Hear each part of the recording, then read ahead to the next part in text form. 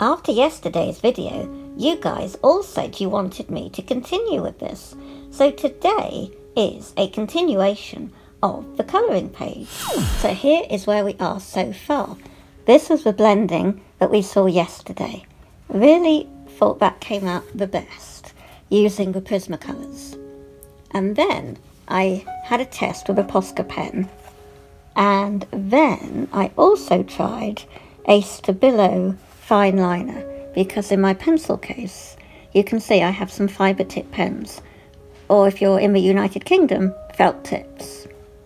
And so I have a red there and this Stabilo one here and the green.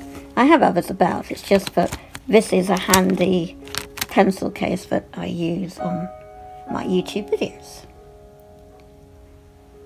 And here are my pencils for Prismacolors.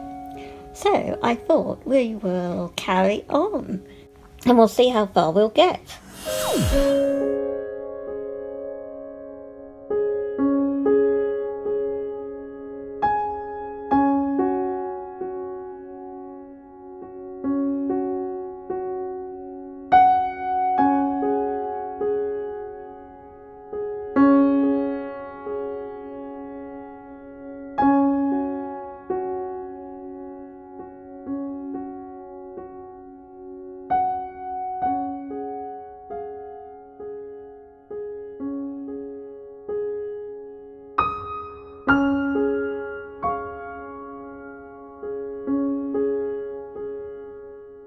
We're still not finished, but this is what it's looking like so far.